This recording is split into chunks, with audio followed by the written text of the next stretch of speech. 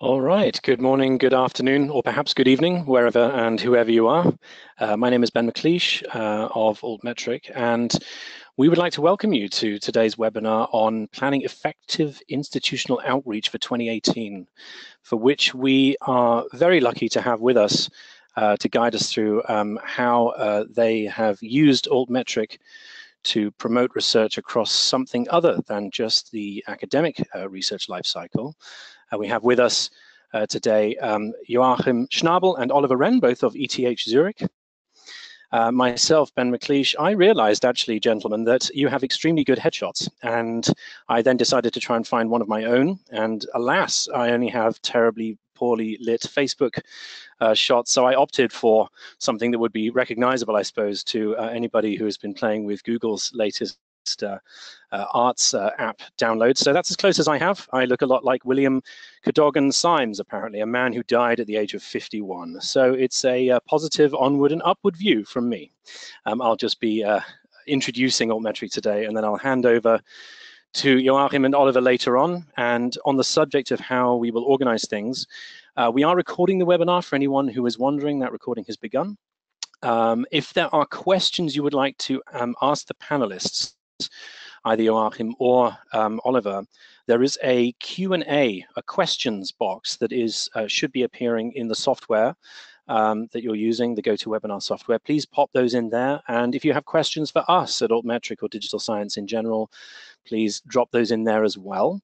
Having said that, if you have some issues with audio or video, which we hope, of course, you are not, um, you can drop those into the chat box instead of the Q&A box. And Josh Clark, who is our marketing uh, colleague and myself will be keeping an eye on those uh, throughout the webinar as well. And of course, we will be sending uh, the slides as well as the webinar recording itself out to everyone who joined us today from what looks like uh, quite a, a, wide range of countries and locations.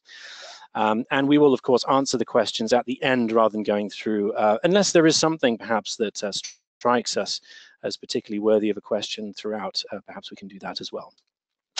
A quick overview then of who digital science, or rather who Altmetric are. So Altmetric belongs to the digital science portfolio of companies. There are between 12 and 14 now, depending on how you count them, all doing various kinds of bits of research management, whether it's to do with reading, whether it's to do with data uh, management, whether it's to do even with uh, automated robotics uh, in laboratories in the cloud. We go that far.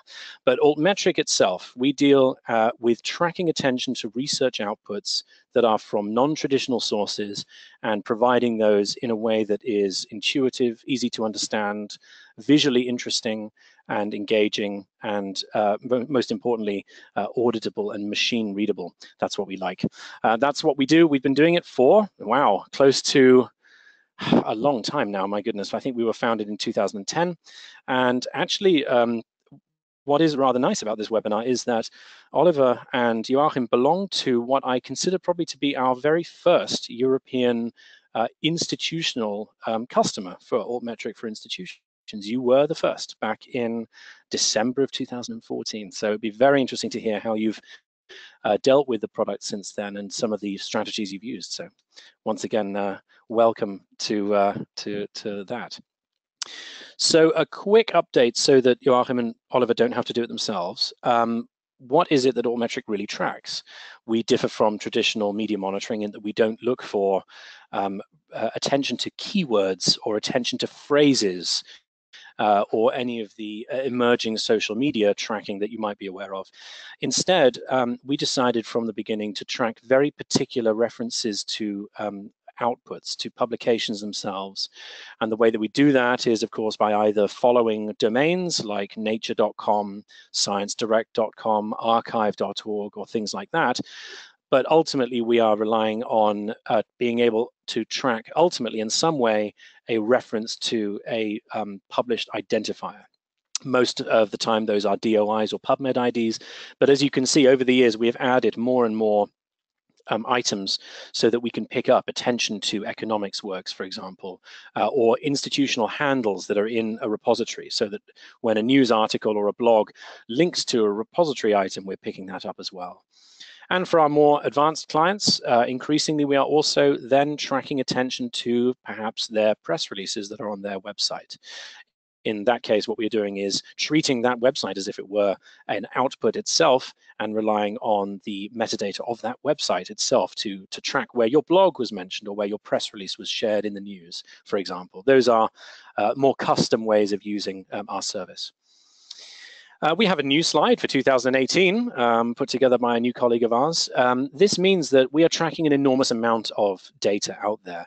Um, uh, we are looking in particular sources for references to these links to these uh, uh published identifiers.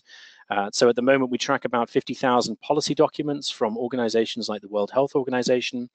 Uh, with that, we're even picking up items in the reference lists of those PDFs, even when they do not mention a DOI, because we're clever enough to write algorithms that can recognize a citation and then can go back and try and work out what DOI that might be, for example. We look for attention to your research in blogs, in news sites, which of course are in multiple languages because we are still looking for that link to a DOI or to a PubMed ID or whatever. And we uh, mine three different languages worth of Wikipedia and do plan to add more as uh, time goes on. So we take all of that attention across social media, across news, across post-publication peer review, for example, even academic syllabi, and we aggregate that all into one um, details page for each particular item that we are tracking. Uh, now that has meant that we have now reached uh, over 62 million mentions of research across the web and that we are now have found over 14 million items which have at least been mentioned one time. So of course, there are many more publications out there than that, but those have, as far as we can tell, never actually been talked about online. But the great thing is that that trend is upwards and people and platforms and uh, internet users are increasingly sharing and discussing and commenting on research or research data or really anything that has an identifier at all um, out there so that we can uh, see that. It is an immense database. When we first started with ETH Zurich, I think we were at maybe 4 million items, maybe five, something like that. Uh, so it has grown by a lot. We see something like 150,000 new items every month detected. We don't just provide you massive numbers and say good luck with all that. Um, we do actually provide uh, an intuitive interface that will display the institutional outputs uh, by author, by department, uh, in total, and even provide a way of looking at it so you can see it over time. This actually is, I hope you don't mind, gentlemen, a screenshot of your own uh, attention uh, at uh, the ETH DCHAB, DCHAB, uh, the um, chemical and mathematical, no, is it chemical and physical sciences, I believe. Do correct me when uh, when you finally come on. Um, but you can see very quickly the breakdown, and so you can see what is happening. You can see by author, you can get alerts for this stuff. Uh, you can build reports on it, or you could even, if you are super smart and good at computers, uh, unlike myself, uh, which you can probably tell because I said the phrase good at computers, we have also a full API for this, so that not only can you embed our data in your repositories or your newsletters or anywhere else where you would like to put these, but you can um, query uh, our database for your account for uh, your attention to particular items from a particular author or from a department in total uh, or across a particular timeline, uh, any kind of way that's useful for answering your questions about how has the outreach happened. Uh, how, you know, what, what sort of outreach has occurred, how can we improve it? Uh, is it positive or negative? We can go and have a look at the data themselves. Whoops, I will now hand over to Oliver and to Joachim in that I will promote them uh, as they well uh, deserve to be uh, to um, a presenter. There we go. And there we go. Joachim, let me know uh, when you've been able to get that. And don't forget to unmute yourself as well, sir. Can you hear us? I can, sir, and we can see your screen. Perfect. And you can hear us? Crystal clear. It's quite wonderful. Okay, good. So I'll, I'll start with a quick introduction. Um,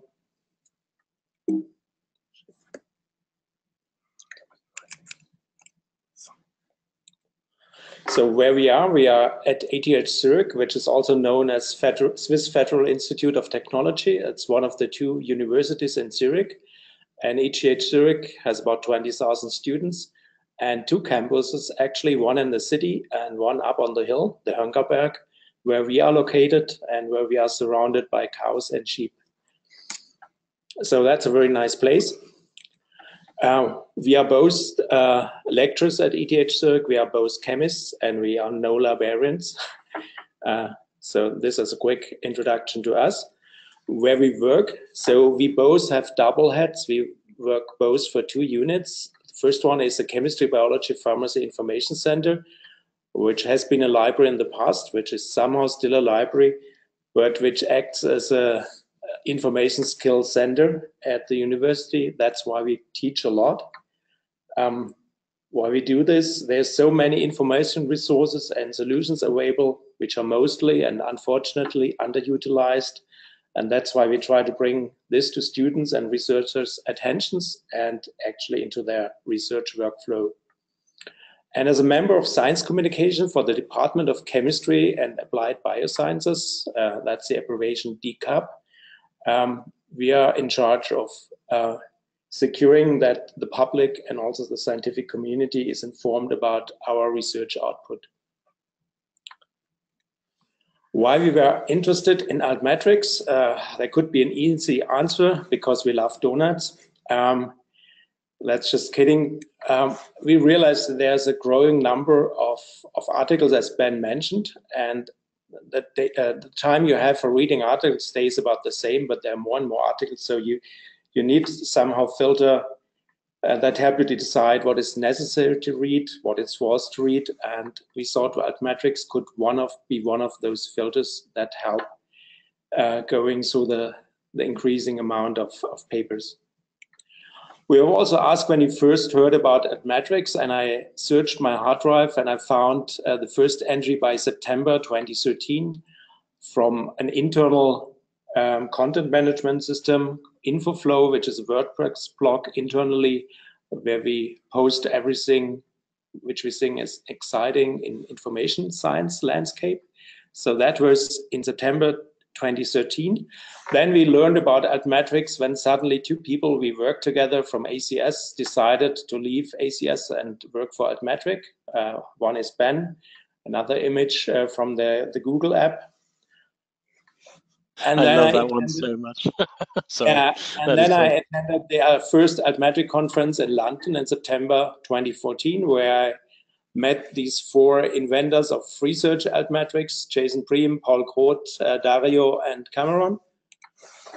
And they presented their altmetric manifesto, uh, which said, well, we need somehow to have filters uh, to go through the scholarly literature to find out what, what is important.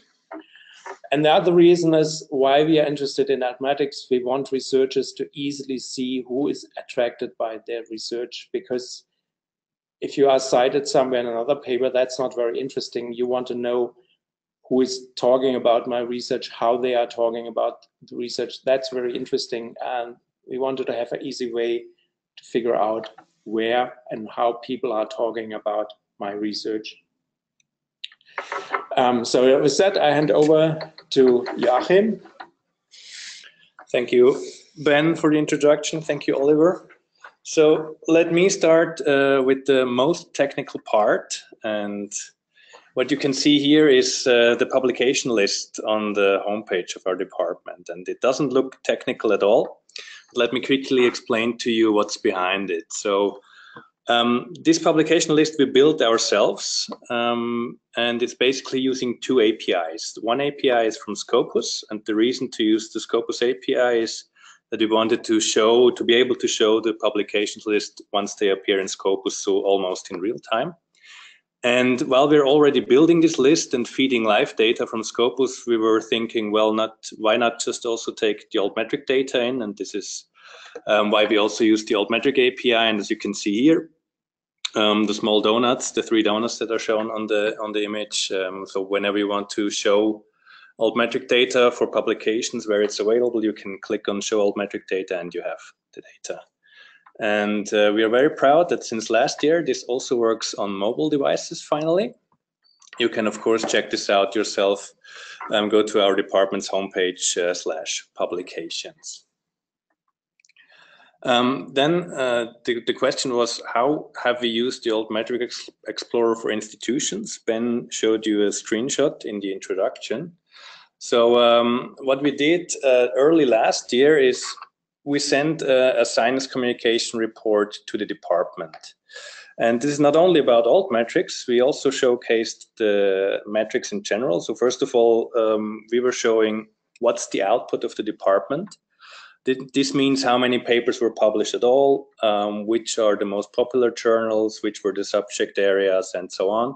And of course, we also um, took this opportunity and, and also showed the altmetrics that were generated.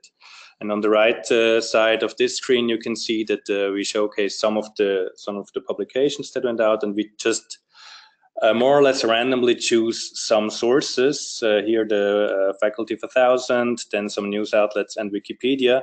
This is not to show which has the the most, uh, the highest score or the most mentions. This is more to spread uh, the awareness of altmetric or altmetrics in general a little bit more, because uh, people that are involved in libraries like we are, we know a lot of about altmetrics, but the researchers are not yet fully aware of this. So with this report, we wanted also to spread the awareness that they can easily find out um, who is mentioning their research online. And what I like uh, a lot about the Altmetric Explorer is that you can really um, easily filter all the news uh, or like news items or mentions online or even policy documents with a couple of clicks.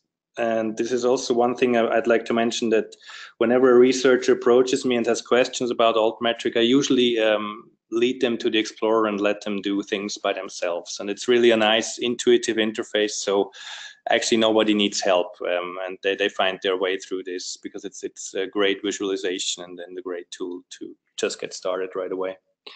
Um, I mentioned policy documents because um, for us these are of course one of the most uh, interesting sources to track. Unfortunately, we are only in the two-digit numbers of all of our publications. But um, for instance, if as a researcher uh, or as a good example for us, you want to see um, where your research was mentioned, and this is a good place to showcase this. For instance, here's a EU policy document on a review on nanomaterials. These are great, uh, great pages to show. Um, also for people who are uh, critical about uh, all the metrics or altmetrics in general. Then, um, as Oliver mentioned before, we also do science communication. And whenever there is an article either written by ETH News or by the depart by us, by the department, then uh, we of course highlight this as news on our homepage. And with the help of the Altmetric Explorer, we can then immediately um, see if this news is actually um, read and mentioned or um, shared online. And this is an example of a couple of weeks ago where ETH News showcased one of our professors' research results they had developed a light sensitive um, derivative of the molecule THC from cannabis. And this is the altmetric detail page about it. On the very bottom, you see the ETH news in German and English on January 9. This was actually published. And uh, when you go up, you see from other news outlets how they picked it up and spread it. And this is only the news tab. I'm not showing you Twitter or blogs or anything else. So it's really, really interesting to actually track our own efforts when we do science communication. Then how do we um, promote these altmetric tools? So how do we spread awareness and uh, show people what's possible?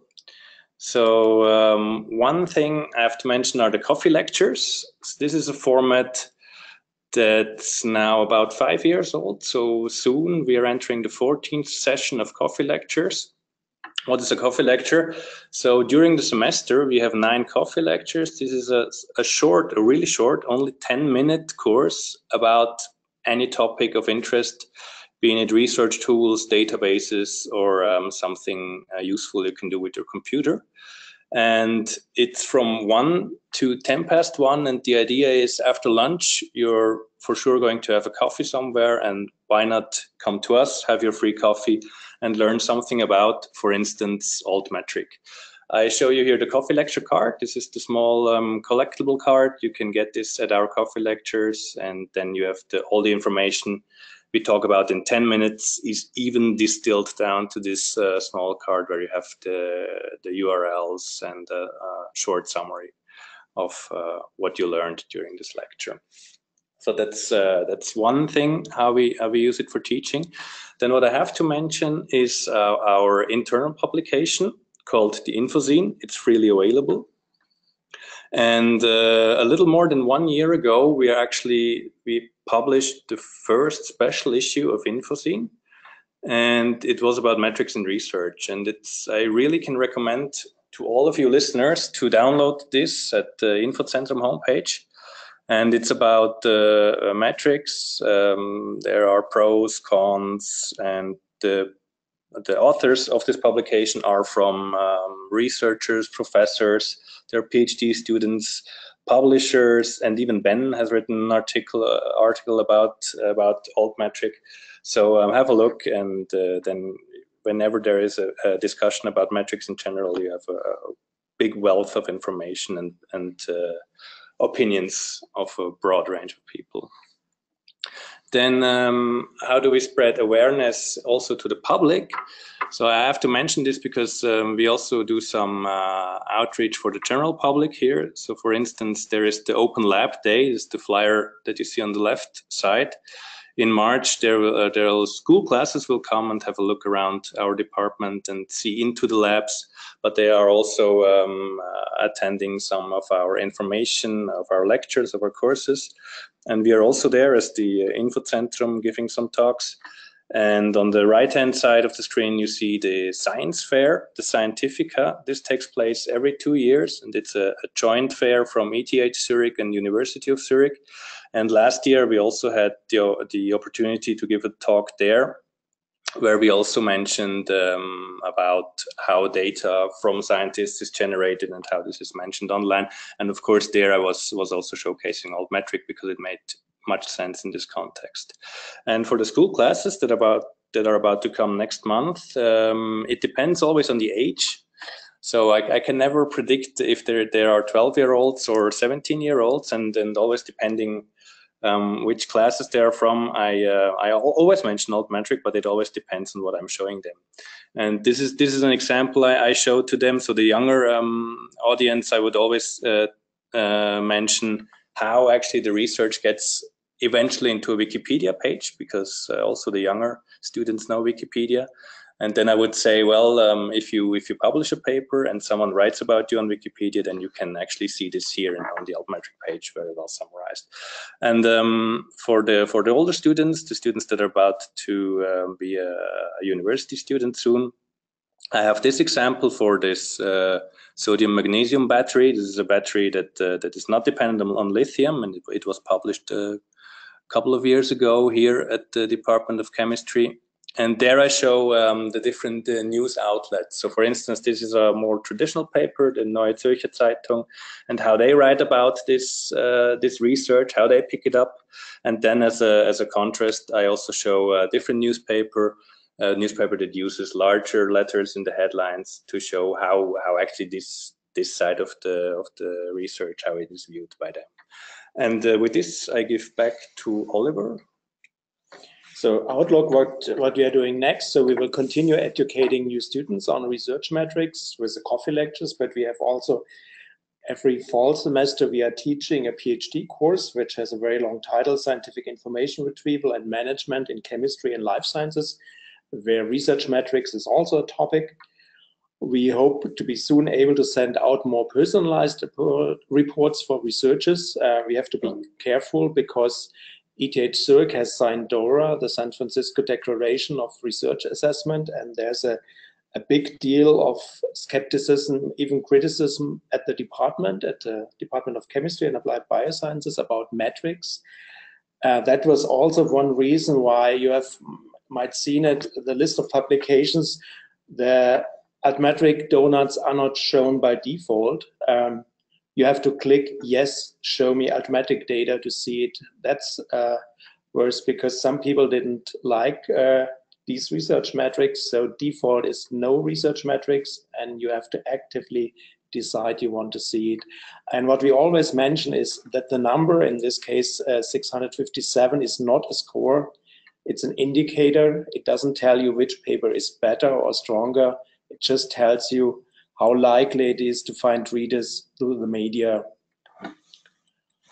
And also what we are doing and what we will continue doing is helping researchers uh, to improve uh, the outreach, not only outreach to the journal article, which is cited by other researchers, uh, by other specialists in the field, but we want to help them to reach also the public with lay summaries. And that's why we are partnering with Kudos, where they easily can write a plain, easy to understand title, write what's about in plain natural language and explain why is it important.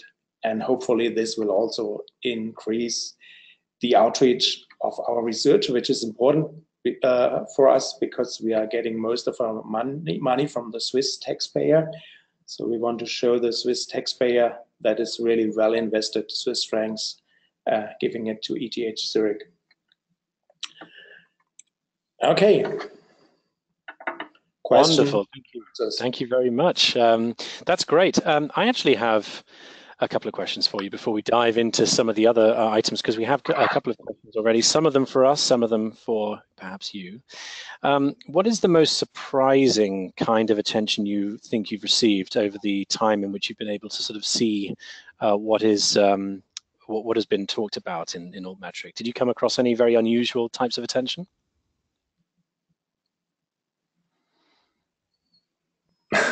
Yeah, we just see that uh, during the last couple of years when we, when we started having a new website uh, doing science communication, which just started three years ago, that there's a correlation with the increase of mentions.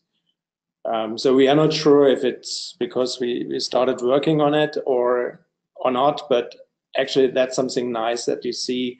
We started science communication. We we started doing things and uh, the number of mention increased at the very same time. Interesting. Ah, thank you.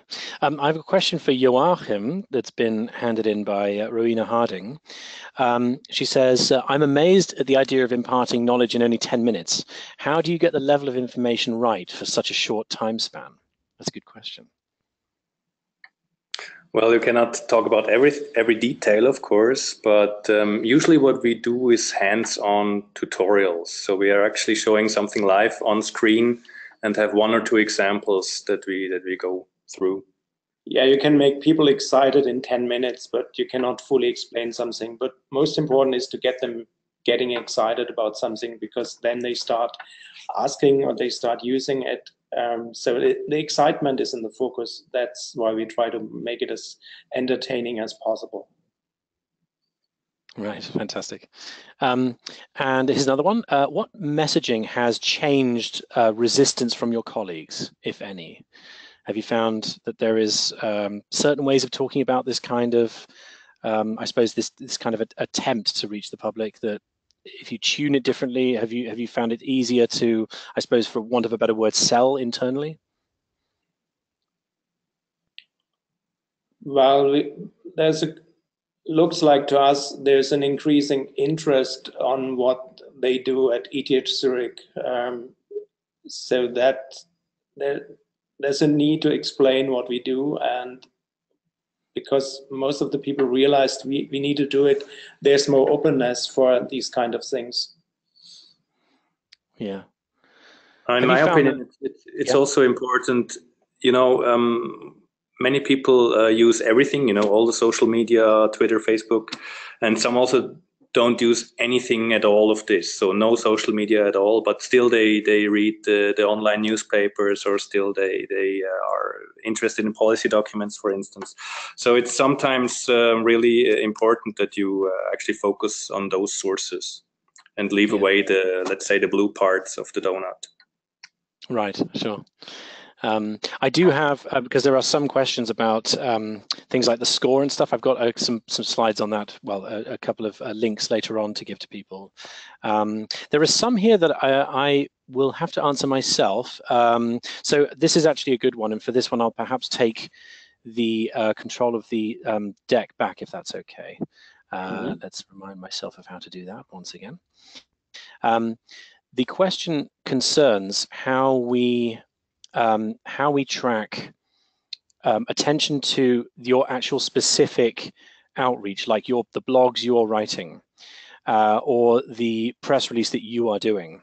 Uh, this is this is not something I think that we do for the ETH at the moment, but there are um, um, other organizations out there, actually in Switzerland. I'm going to use an example from Switzerland, where the blog that this institute writes, they want to have considered as if it were a publication from a journal or a book chapter or something like that. And so here's my example for it. These are the Global Alliance for Improved Nutrition. They're just down the road, not really just down the road, they're in Geneva. Um, and in addition to writing journal articles, and publishing in you know what we would consider to be traditional outputs.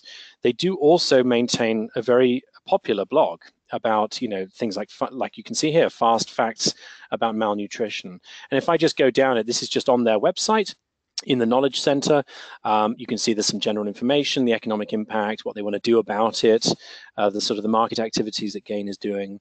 And you can see as we go down here there's a good decent amount of uh, information. It's laid out nicely. There are some citations of course. But there is no identifier itself for this item because of course it's just a blog entry I just a blog entry. It is an entry that's just been put on the website. It didn't go through any review process. There are no automatic uh, standardized metadata approaches for, on a publisher level. But in the background of this uh, website, helpfully, they have something called a canonical URL.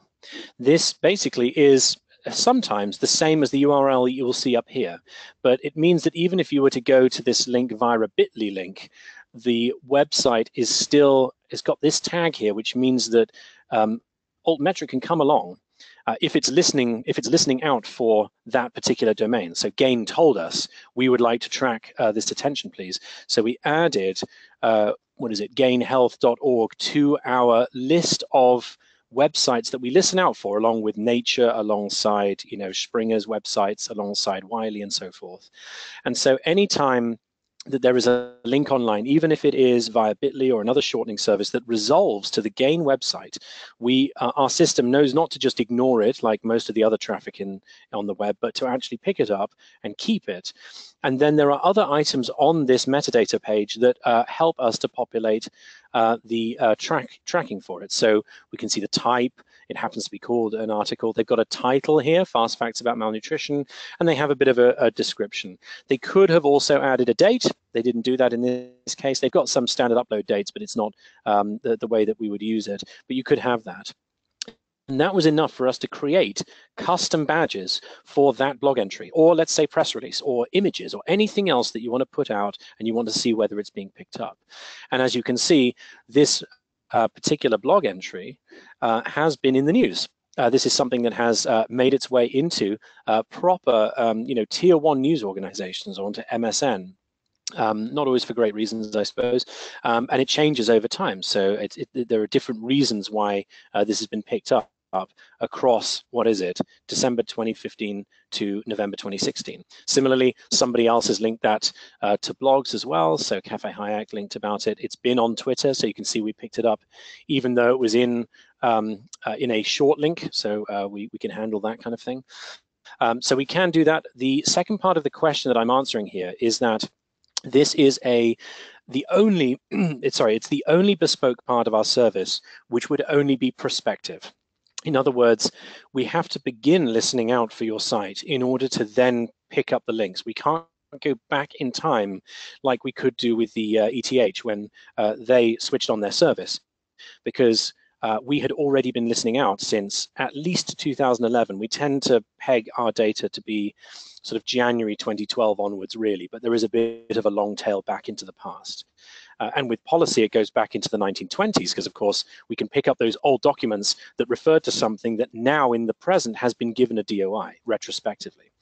Um, but with this, we have to begin at a certain point and then we are listening out for it going forwards. So it is available to any of our customers, but it has to be implemented by us um, and requires you to have those bits of metadata on your website. So that is, uh, I hope, a clarification to something that I did gloss over uh, slightly before. Um, let's see. Um, I am just looking for, ah, yes, okay. Uh, this is, uh, again, another one for me. Uh, please explain why a URL shortener does not count into the altmetric. Uh, it does. So we recognized very quickly that um, on Facebook, on Google, um, in blogs, and on Twitter, and in many other places, people use short links to ultimately link to research. So they don't always use the link, you know, nature.com forward slash whatever it is um, they tend to use um, Google's shortener, they use the Facebook shortener, Twitter automatically shortens every link. And so we wrote a piece of software that's actually in the uh, public domain uh, called Embiggen. I think it comes from The Simpsons. Um, and uh, what it does is it tracks six and a half thousand different short linking services and resolves them every time it sees one um, and then looks for uh, whether it's uh, resolving to a place that we know has research. So we actually do pick up amongst the hardest um, types of research to find. Uh, when I say hardest, I mean it's essentially impossible to find this stuff manually because Twitter has a historical search of something like 24 hours. Uh, and then, of course, the tweets are still somewhere online, but you can't find them via the interface easily anymore. And then if you were to search uh, online for links, you know, just embed, you know, search the link in a search box on Google, you wouldn't find these because they are shortened. So we have uh, made sure that we um, uh, can can sort of uh, handle that. So I hope that that clears that.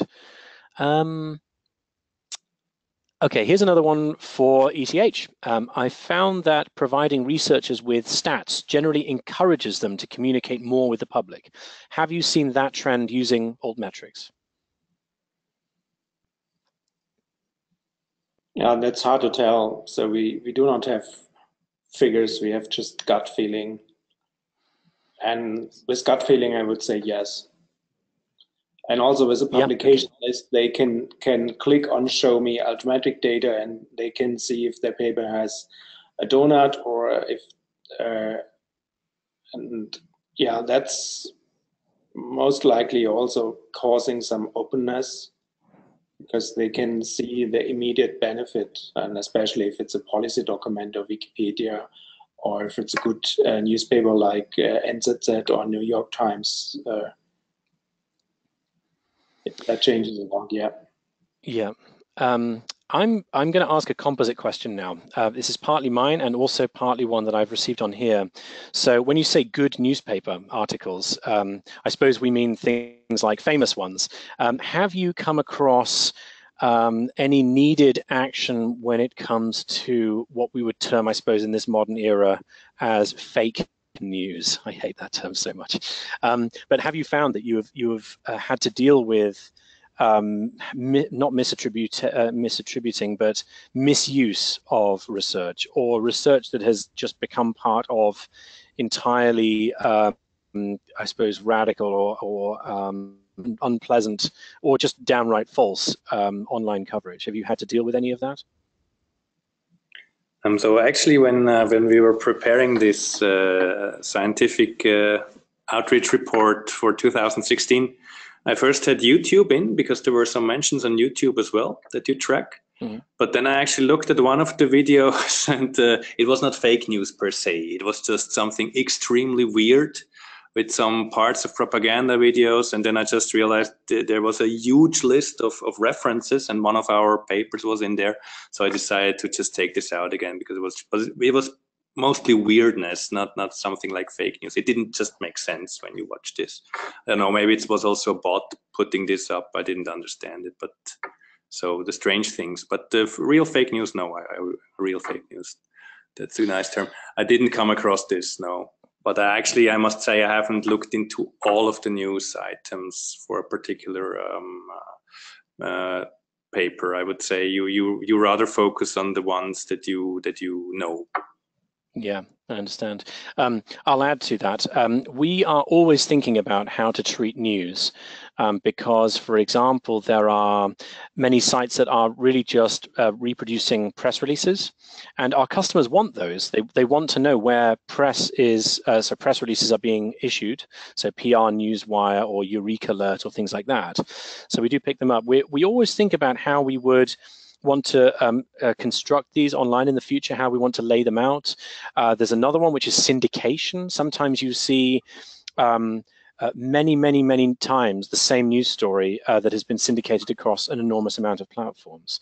And so we're mm. always thinking about how we would, you know, do we score them the same way? Do we collapse the list so that there would be one reference and then there's all the places where it's appeared? Because, you know, our, our customers still want to know like those kinds of numbers, right?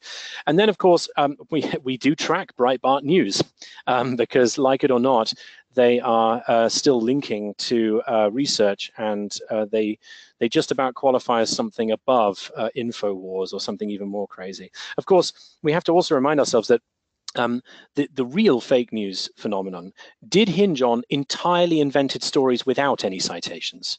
Uh, that was the most extreme end of it, of course. And of, of course, we don't pick those up because um, a, they, since they wouldn't link to any uh, items, they wouldn't appear in our database anyway. They're not a point of, uh, they're not a source of attention. And there is, uh, we don't just track everything online. There is a curated list of those uh, websites, which we always add to. We always add new news sites um, in, uh, you know, in, in different countries and as they come online. Uh, and so something that would be quite evidently pretending to be ABC News, but it isn't. So abcnewscom.org, for example uh, which I think is actually a real example. That's pretending to be ABC News, but it isn't. That wouldn't even be something that would come into our um, uh, system anyway, because it is a misrepresentation of what is a real news source, which would of course be ABC News. Um, that's a great question, actually. I, have not um, vocalized that in a long time. Uh, so yeah, it came up a little bit last year for reasons I'm sure you can imagine. Um, and maybe in addition to the syndicated content, my experience is that syndicated content never really has a source because when I came across uh, those reports, uh, I realized uh, if you Google it, you find a similar text on many sites, but never the source. And usually, if I'm able to retrieve the source, I realize that the content of the original source is quite different. Uh, so I think ah. they, they don't really count because there's no resource related. There's just a mention of Swiss scientists or Sweden researchers or whatever. Yeah. Uh, that's an interesting one. I've got another one for you, actually, gentlemen. Um, is there a role for relationship building with the press or bloggers, etc.? So I suppose you Joachim, um, are you um, going so far as to almost act like a PR person and cu you're curating a list of, of people that you are deliberately reaching out to with certain research, or do you find that you're increasingly being contacted by people again uh, about stories or um, that you're, you know, I, I don't know, you, uh, I suppose optimizing content for reuse on blog platforms, are you doing any of that kind of stuff or anything else? Um, so this is mostly done through the uh, corporate communications of, uh, of ETH Zurich. So they have the direct contacts to all the newspapers, to the local uh, radio and TV stations. This is not done by us, but if you have a like like if you have an idea or a researcher approaches me, then uh, we would certainly go together to Hochschulkommunikation, which is the department, and they will then uh, contact their press contacts. Yeah. So sometimes they ask us if we recommend a media or a person, and most likely that's the way that we try to convince them that this is really a good story from from our department. Yeah, fantastic. So top news go to, to corporate communications and news which is not considered a top news. Uh, that's something we we locally somehow distribute on through our channel. Mm. Very good. Um, it, this is a great question coming up here, um, and I'll answer. Uh, I'll let you answer first, and then I'll add my points to it. Um, are you concerned that researchers may try to adapt their work to achieve high altmetric scores or indicators, or could this be a good thing in some cases? Well, of course, you you could set up a bot that tweets about your article to increase uh, the score, the number, and the donut but I think most researchers really care about their research. They they want to focus on their research and they want to be bothered with administrative tasks.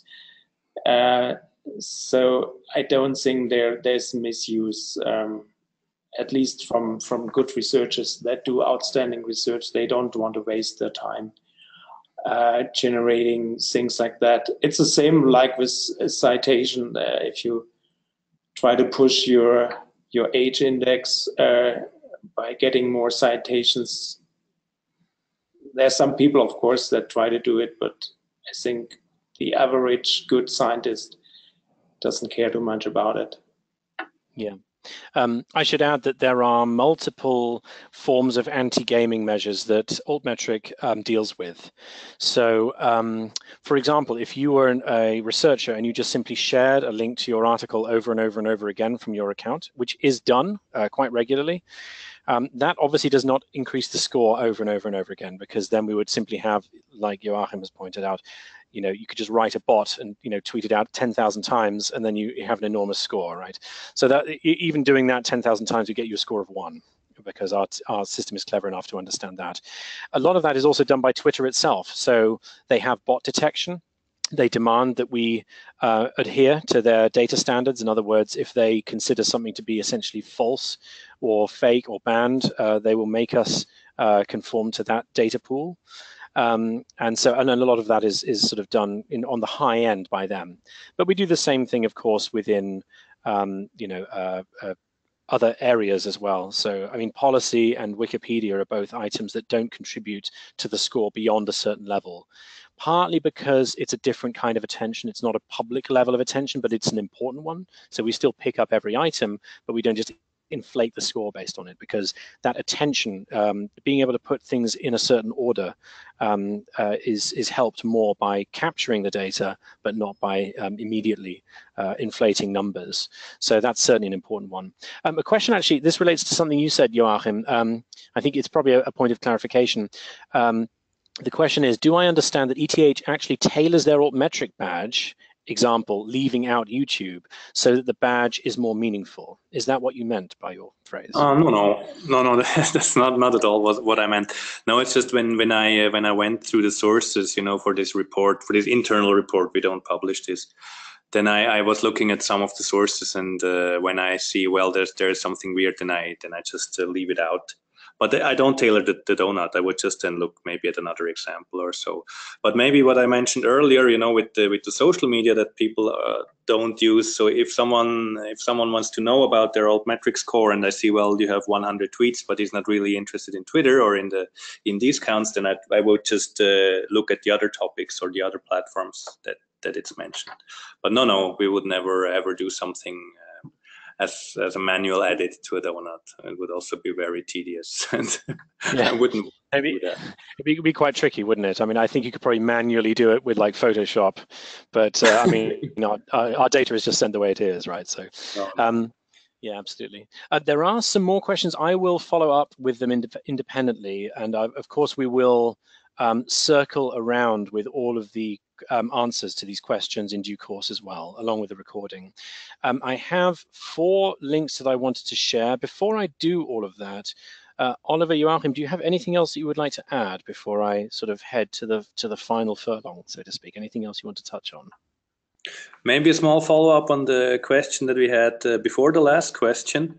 So whether um, the mm-hmm. researchers mm -hmm. are actually uh, use use altmetric to promote their research more. I mean, I think it's important to say that this is very, very topic dependent, you know. Something like a solar cell or a new battery or something related to healthcare is just much, much easier to get an altmetric, altmetric badge for, you know. And uh, here at our department, for instance, there is so much uh, important and, at least for me, interesting fundamental research done but this hardly gets an altmetric score. So these people wouldn't even be able to, you know, just try to increase and then kind of game the score. But on the other hand, if someone is, you know, making a new battery that could last triple time as long as the, the standard battery, why not? Why, why not should he then uh, actively promote a little more? But then on the other hand, I have to say, then the effort to promote this more is also um, also only a small effort in comparison to if you talk about the new X-ray method or something uh, something that has to do with uh, you know development of new catalysts, something that uh, gains a score less likely than a yeah. hot topic. Yeah. That's a that's a good point actually. Yes, the altmetric details and scores do shift across different um, areas, just like they do with citations and impact factors. Um, you know, the, the the the metrics for any particular research area do not behave equally across all research areas.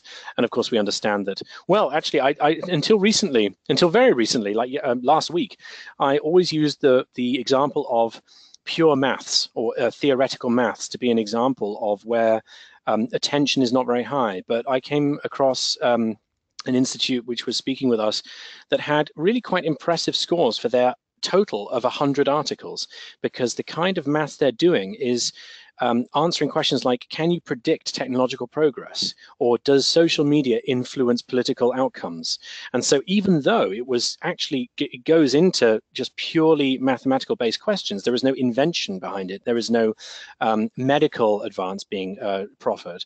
Um, instead, we still actually saw some enormous take up across news. So actually maths is not a good example always. Uh, so very, it almost comes down to the subject of the particular paper, no matter what um, area it's in. But there are, of course, also general trends. But yes, that's a that's a great point. Um, I've got um, some links to the badges, um, which I thought I would point out are free to use. You don't have to use uh, our service uh, on an institutional level to have these. This one was sent to me actually by the Open University um, this week, I think it was.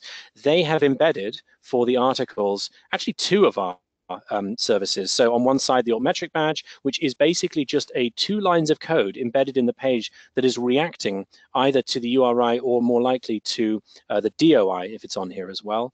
But uh, there'll be basically enough on here for it to recognize uh, the, the DOI or the uh, RePEc ID or whatever it is. Um, we also have, by the way, I'm, I'm not going to spend too much time on this, but we have also built citations at Digital Science. We've built a citation badge for the dimension service. So actually they've put both of these in. It's a shame this doesn't spiral around like this one does.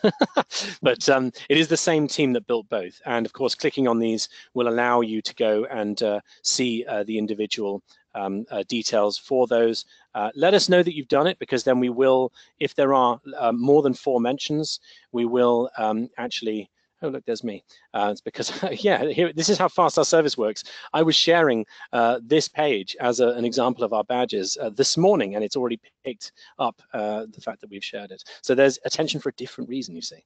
Um, so uh, those are, are, freely available. Um, you can go to uh, api.altmetric.com forward slash embeds.html. I'll also send the link, of course, with uh, the rest of the materials.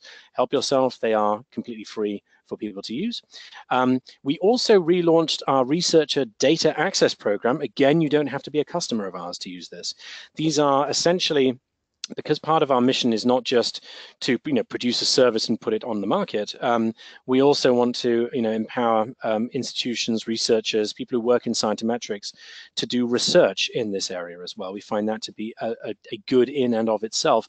And so uh, we've recently uh, relaunched this program for essentially one time uh, uh, data access from our uh, API as a download in order for people to actually um, ask questions and do studies on um, uh, uh, particular items, particular pieces of research. So the metrics for particular items can be issued. Get in touch with, uh, if you just search uh, the Research Data Access Program, you can get in touch with Stacy Konkiel, who is the person who help, is helping with that.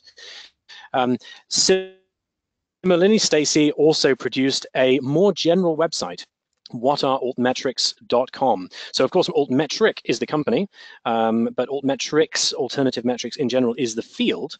Um, and here there are basically descriptions of what are they, how are they used, how can I find them, how should they be used, what resources are there. It's all entirely free, and it's written impartially uh, from the point of view of Stacy as a actual researcher in this, rather than somebody who happens to work for us now and who worked for, of course, Impactstory before that. So it's very well laid out just so you can orient yourself in the subject in general.